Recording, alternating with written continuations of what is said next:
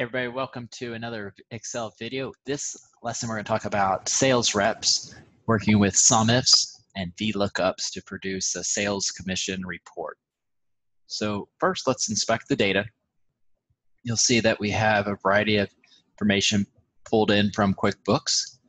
And the second thing we're going to do is just kind of get just the total sales for this period here. Okay. So I can do that using the sum ifs formula uh, by looking down each the sales rep column, pulling out every single time we have a sales rep listed here to the right. We can add up the amounts. Okay, so let's go. So equals sum ifs. Now you might have noticed there's some if and some ifs. I recommend you do the sum ifs. It's just going to make it easier if you ever want to expand and add more criteria. Okay, the first argument is the sum range. So that will be under the amount. I'm going to click on the first dollar amount, then on a PC, Control Shift arrow down. Okay, and I'd like to use that every time. So I'm going to hit F4 to make it absolute reference. The dollar sign should be in there on a PC F4 to do so. Then moving into the criteria, similarly, we're going to select the sales reps all the way down. I'm going to hit F4 so that it makes it absolute referenced. And lastly, the criteria. So our criteria will be to the side. In this case, it's John Doe. As we copy down, it'll be the others.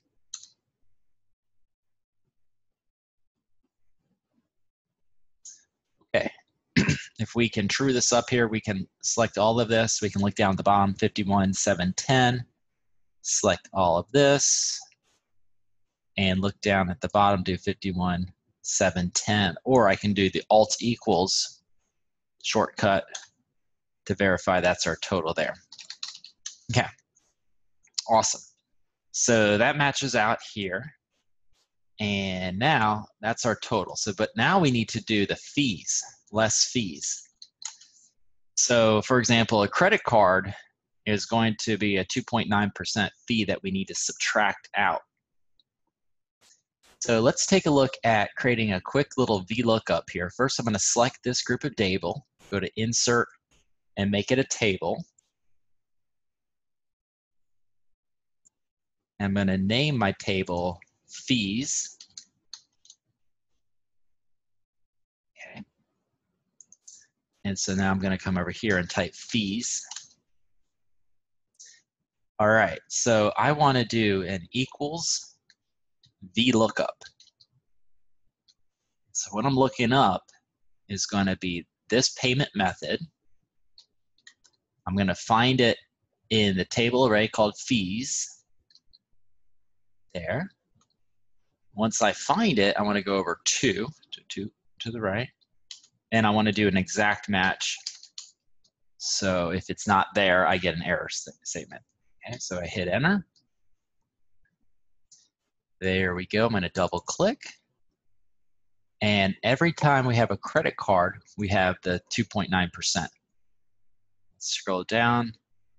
We can see we have a problem here with PayPal was not listed in my, my data set table. So in the future, if I had that issue, I would have selected, to prevent that, I could have selected all of these values, copied them, could have came over to the side and pasted them just as a quick little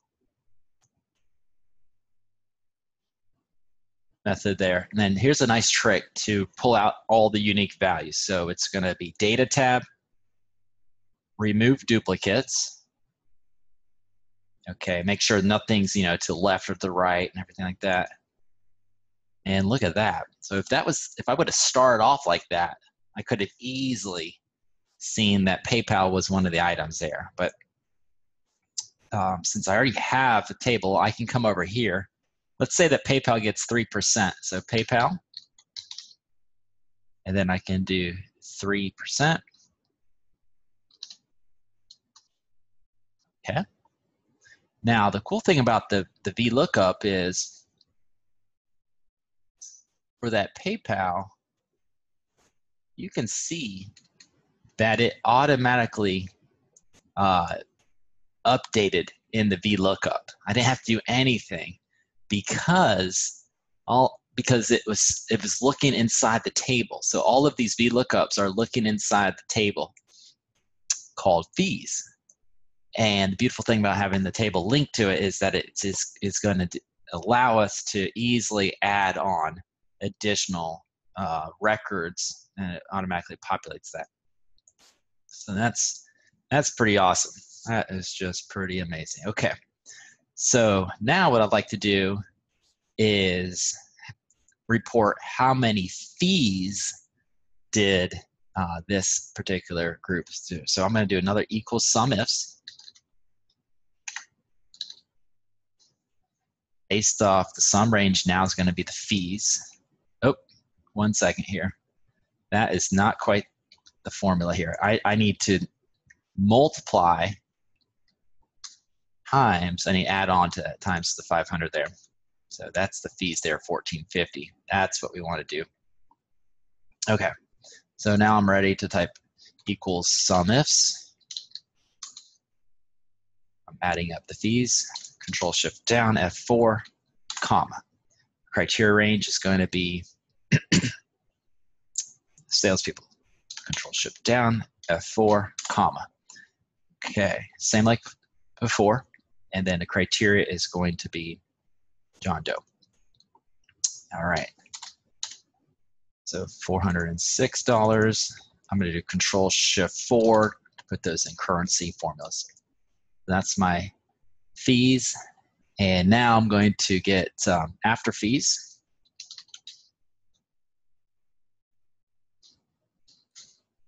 Equals their total less fees. Okay, and then I can do my commission. So let's say it's 70%, so equals this times 0.7.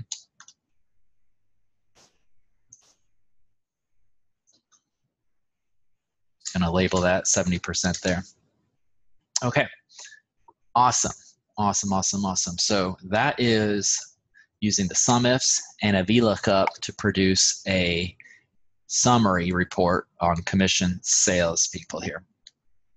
Let's go play around in a pivot table because you'll appreciate the pivot table if you have a, a pretty strong looking table here. I'm just gonna make format painter on here. Okay, if you have a pretty strong looking table here, you can create a pivot table by going insert pivot table. It will go on a new worksheet and I'm going to bring in the sales rep in the rows, and I'm going to bring in the um, amount here. And so that will show us the total amount. That's another way to work off of that to show that. And if there was ever a scenario where you wanted to see uh, information, like let's, for example, Bob Dylan 8639, if I, I could just double click that and what it does is it opens up a new worksheet with all of the records being populated out of the, the pivot table into a new worksheet. So I can analyze that, realize the pivot table is always to the left of the worksheet, and then we're back to the regular sales by class fee here. Hey everybody, thanks for watching.